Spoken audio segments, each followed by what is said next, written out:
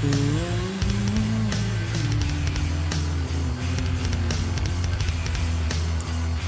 Lego Ninjago, Episode 3 The Overlord is Back,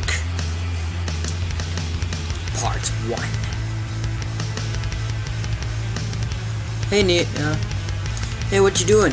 I'm building a new kind of defense mechanism. It's supposed to lock on to things that, like, machines or, the, you know, the mech dragon so we don't get away. Okay. Man, something's weird.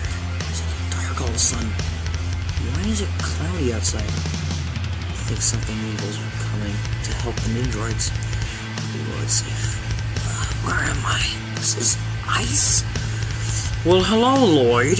Since you won't tell me, I have to use this staff, which will suck out any powers that you can use.